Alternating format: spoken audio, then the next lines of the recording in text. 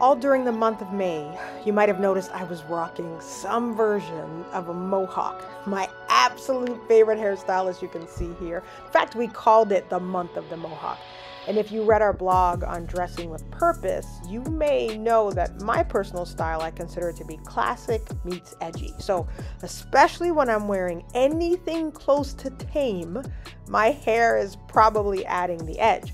But what you might not know is why this hairstyle means so much to me and when my obsession with it started. Uh, many of you have heard me talk about Dolores. You've seen her in some of my videos. She's my hairstylist of about 16 years now. Every single look you've seen me in, I'm telling you, uh, from actually, there's Dolores right there. We spent a lot of time together. She's always making me laugh.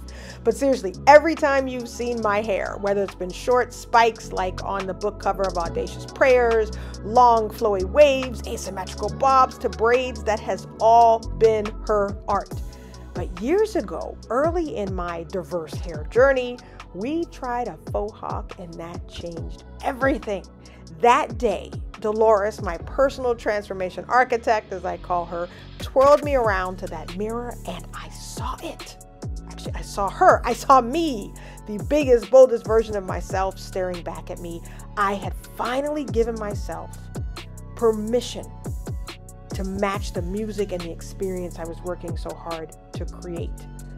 What I didn't know is that same day when she whirled me around in the mirror and I saw myself, she also saw herself. A stylist who'd been dying to go non traditional, and now she finally had her person. She had her change junkie who craves something new at every turn. Dream stylist met dream client, and the rest is history.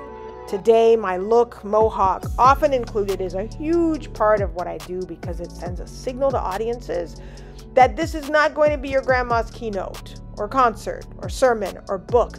It also, uh, ironically, you know, you would think that the mohawk would be unapproachable, but I think it's one of the reasons people come up to me. They see me being so darn comfortable with my crazy hair, even in very traditional settings, that they subconsciously, I think they subconsciously subconsciously assume that if I'm that comfortable with myself, I will be equally comfortable with them. And so they do come up to me. And I love that. You know, the mohawk may not be your thing, but I'm telling you, if there's a vision and a version of yourself that you haven't yet realized, give yourself permission to unleash that. And when you do, you will also be unleashing your greatest level of impact possible. Remember, the world is waiting.